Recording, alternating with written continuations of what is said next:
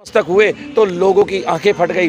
विश्व नतमस्तक हुआ। उन्होंने देखा कि सौर्य गाथा जो छुपी थी, जो भीमा कोरे कोरेगांव छुपा हुआ था इतिहास, वो आज उजागर हुआ है और उसने ऐसा इतिहास बचाया कि जो लोग पेशवाई व्यवस्था को बनाने वाले थे, जो उसके पोषक थे, जो उसके समर्थक थे, उनके यहाँ पर अपेंडिक्स का दर्द चालू हुआ और उन्होंने 2000 में वो घटनाक्रम अंजाम दिया, जिसके आतंक आप बयां कर चुके हैं।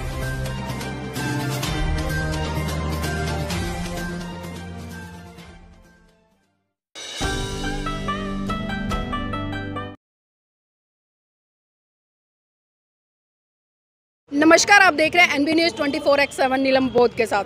साथियों, भारत के इतिहास में एक गौरवशाली गाथा, जिसे कि सूर्य दिवस के नाम से जाना जाता है। जी हाँ वो इतिहास जो स्वर्ण अक्षरों में दर्ज होकर एक जनवरी को सूर्य दिवस के नाम से पूरे भारत देश में जाना जाता है। तो उसी सूर्य दिवस की गाथा को लेकर आज मेरे साथ में चर्चा करने के लिए श्याम भंडारी जी, उन्हीं से जानना चाहूँगी। श्याम भंडारी जी, जिस तरह से 2000 में सूर्य दिवस प्रचलन में आया, क्योंकि उससे पहले तमाम लोगों को नहीं पता था, लेकिन जब वहाँ पर तमाम हिंदू संगठनों ने एक आतंकवाद का परिचय दिया तो तब से सूर्य दिवस कहीं ना कहीं बहुत बड़े स्तर पर पूरे भारत देश में फैला और उसका प्रचार प्रसार हुआ। तो किस तरह से देखते हैं आज वर्तमान युग में? देखिए, जो शौर्य दिवस से जो हमारा गौरव है और 1818 में जो ये घटना घटी और जिसने इतिहास बदल दिया और तभी से मैं ये मानता हूँ कि वो जो छप्पन इंच का जो मामला चल रहा है ना ये वहीं से आता है।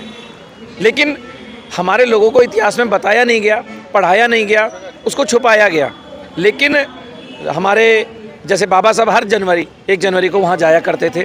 और उन्होंने इस बात को लिखा है बताया है हम लोगों को। लेकिन ये जो 2000 में जो घटना घटी उसने उन लोगों के मंसूबों को दिखा दिया कि ये हमारे इतिहास के साथ जिस तरह से खेल खिलवाड़ करते हैं छेड़खानी करते हैं या हमें दबाने की कोशिश करते हैं। और उससे जो वो जो लावा था जो फूटा वो पूरे देश के अंदर उस इतिहास को बच्चा बच्चा जान रहा है कि शौर्य दिवस क्या था। वो महारों 500 महारों ने 28,000 पेशवाओं को गाजर मूली की तरह काटा। और आप अंदाज़ा लगाएँगे कि 500 महारों ने अगर 28,000 पेशवाओं को मारा तो एक एक हिस्से में कितने आए ये आप अंदाज़ा लगा सकते हैं। और वहीं से वो छप्पन इंची वाला मामला चलता है। और ये आज मेरा युवा या जो मेरा समाज का जो बच्चा है या जो मिशनरी जो है जिन्होंने को पता चला तो उनके हौसले और बड़े हैं। कि हम वास्तव में जिनको नहीं पता था उनको भी पता चला 2000 के बाद कि हम तो यार उस समाज से हैं।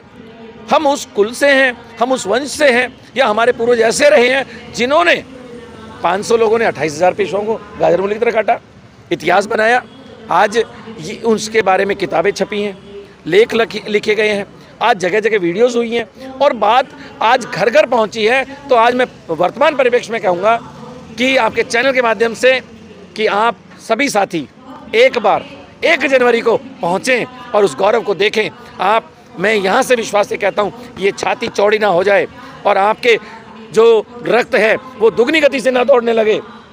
उबाल ना आ जाए तो कहना, हम भी पहुँच रहे हैं। एक जनवरी 2025 को, क्योंकि कल तो हम नहीं पहुँच पाएँगे, लेकिन 2025 को, एक जनवरी को, इसी चैनल के माध्यम से हम वहीं से लाइव करके दिखाएँगे और वो उबलता खून भी दिखाएँगे, वो जोश भी दिखाएँगे और वो भीड़ भी दिखाएँगे, वो नतमस्तक करने वाले लोग भी दिखाएँगे कि हमारे सूरमाओं को, हमारे जो वीर योद्धा हैं, उनको नमन करते हुए जो शौर्य गाथा है, जो उन्होंने लिख दी, उसको हम वहाँ बयां भी करेंगे। तो मैं कहूँगा कि आपसे जो भी चैनल के माध्यम से देख रहा है, सुन रहा है, एक बार जा कर के तो देखिए, आपको पता चलेगा कि आपके पूर्वज कैसे थे। हम किस श्याम भंडारी जी एक चीज़ और जानना चाहूँगी क्योंकि जिस तरह से 2018 में पूरे 2000 वर्ष मतलब जो 200 साल का इतिहास था वो रचा गया था और तभी एक घटना प्रकरण तो पूरी घटनाक्रम क्या था जिससे कि लोग गौरवान्वित होते और शौर्य दिवस का इसको नाम दिया गया? देखिए अगर हम यूँ कहें कि किसी को शौर्य का नाम दिया जाता है शौर्य पदक दिया जाता है तो उसकी बहादुरी पे दिया जाता है। और ये 1818 में जो हमारी जो गाथक लिखी गई वो हमारे यु, वीर योद्धाओं के द्वारा उन 500 महार 500 महारों ने जो हमारे पूर्वज रहे हैं, जो हमारे समाज के हैं, हमारे गौरव हैं, उन्होंने पेशवाओं के अट्ठाईस हज़ार की फ़ौज को, आप सोचिए 500 एक जगह खड़े हों, अट्ठाईस हज़ार एक जगह खड़े हों तो लोग दहल जाते हैं, डर जाते हैं, भाग जाते हैं, लेकिन मैं यहाँ से बताते हुए भी गर्व महसूस करता हूँ कि मेरे उन पूर्वजों ने, मेरे उन योद्धाओं ने उनको अट्ठाईस हज़ार पेशवाओं को जो दमनकारी थे, जो हमें दबाने आए थे, जो हमें मारने आए थे, उनको गाजर मूली की तरह काटा। अब आप अंदाज़ा लगा सकते हैं कि वो जो घटनाक्रम था, वो घटनाक्रम उस व्यवस्था के खिलाफ था। वो पेशवा राव, जो पेशवाई, जो व्यवस्था थी, उसके खिलाफ मामला था। और ये बहादुरी की गाथा, ये जो हमारे लोगों ने लिखी है, ये जब हम पढ़ते हैं या देखते हैं या सुनते हैं तो हमें भी जोश आता है और वो गाथा लगातार छुपा दी गई थी। हमें बताया नहीं गया, लेकिन जैसे 2018 आया और 200 साल का जब इतिहास आया तो ऐतिहासिक जो मूवमेंट बना क्योंकि मैं मानता हूँ कि 2010-11 के बाद से जो सोशल मीडिया का जब ज़माना आया उससे बहुत क्रांति का आगाज़ हुआ। 2013, 14, 15, 16 तो ये जो मूवमेंट था इसमें जगह जगह बाबा साहब के प्रोग्राम हुआ करते थे। जगह जगह बाबा साहब के वांगवे बिके जगह जगह किताबें बिकी साहित्य हुआ। आप जैसे लोगों ने बहुत बहुत अपनी भूमिका निभाई और उस भूमिका के माध्यम से लोगों को पता चलने लगा। और जब जैसे लगा कि 200 हमारी 200 मतलब साल आ रही है कि दो दो हज़ार अठारह जब आया तो अपार भीड़ अपार भीड़ जिसको कहें कि जैसे कुंभ का मेला तो कुछ भी नहीं है उसके आगे, वो उस तरह की जब भीड़ वहाँ पहुँची, वो नतमस्तक हुए तो लोगों की आँखें फट गई। विश्व नतमस्तक हुआ। उन्होंने देखा कि सौर्य गाथा जो छुपी थी, जो भीमा कोरे गाँव छुपा हुआ था इतिहास, वो आज उजागर हुआ है। और उसने ऐसा इतिहास बचाया कि जो लोग पेशवाई व्यवस्था को बनाने वाले थे, जो उसके पोषक थे, जो उसके समर्थक थे, उनके यहाँ पर अपेंडिक्स का दर्द चालू हुआ और उन्होंने 2000 में वो घटनाक्रम अंजाम दिया, जिसके आतंक आप बयां कर चुके हैं।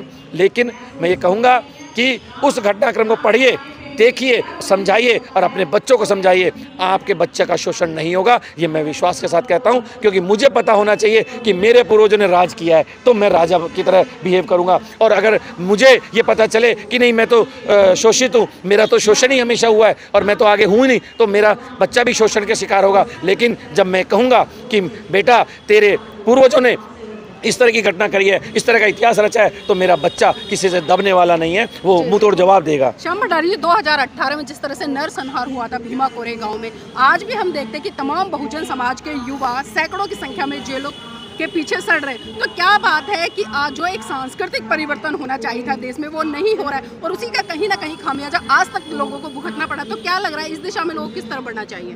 देखिए, ये निश्चित रूप से है कि 2018 में जिस तरह का नरसंहार हुआ, जिस तरह की घटनाक्रम को अंजाम दिया गया सरकार के माध्यम से, प्रशासन के माध्यम से, ये खुली चेतावनी थी हमारे लोगों को और हमारे लोगों के हौसलों को दबाने की कोशिश की थी, क्योंकि 2018 में हम लोगों ने वहाँ किया।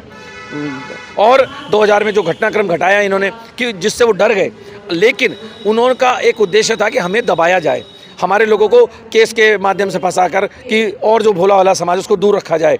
लेकिन मैं आपके चैनल के माध्यम से कह रहा हूँ कि 2018 में जिस तरह के हम लोगों ने वहाँ उपस्थिति दर्ज कराई और 2000 में जिस तरह का घटनाक्रम किया उसके बाद से लगातार वहाँ पर हमारी संख्या बढ़ती जा रही है और आगामी और लगातार बढ़ेगी। अगले साल और ज़्यादा होंगे। इस साल जो कल जो वहाँ उपस्थिति है उससे ज़्यादा 2025 में आपको नज़र आएँगे। और मैं एक ही, वो करूँगा निवेदन, एक ही संदेश है कि सौ दिन बकरी के जीवन जीने से अच्छा है, एक दिन शेर का जीवन जिया जाए, क्योंकि हमेशा इतिहास आपका लिखा जाएगा, जो आवाज़ उठाता है उसका लिखा जाएगा, जो उस दिशा में बढ़ेगा, जिस दिशा में हमारे महापुरुष बढ़े थे। और अपने गौरव को अगर इतिहास को जानोगे, तभी इतिहास बना पाओगे और तभी आप इस देश में राज कर पाओगे, तभी अपने अधिकारों को बचा पाओगे। इसलिए भीमा कोरेगांव जाइए, पढ़िए और जश्न मनाइए और वहाँ पहुँच जो बात बता दीजिए कि हम अब डरने वाले नहीं हैं।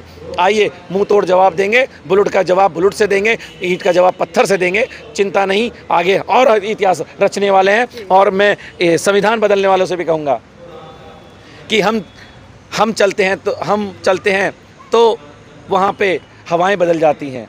हम मचलते हैं तो भूचाल मचल आ जाता है।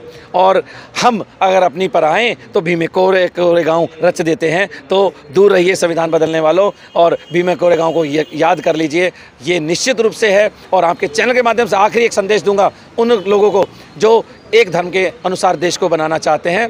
क्योंकि वो लोग इस बात को भी याद करें कि धर्म के अनुसार राष्ट्र नहीं बनता है। अगर ऐसा होता तो इस विश्व में दस बारह देश ही होते, धर्म के अनुसार बनते तो। और अगर आप ये गलती करोगे तो इस देश के गृह युद्ध छिड़ेगा और दो तीन चार टुकड़े होंगे और भीमे कोरेगांव जैसी घटनाएँ कई जगह पे होगी। ये मैं पूरी ईमानदारी से आपको आगाह करते हुए कह रहा हूँ।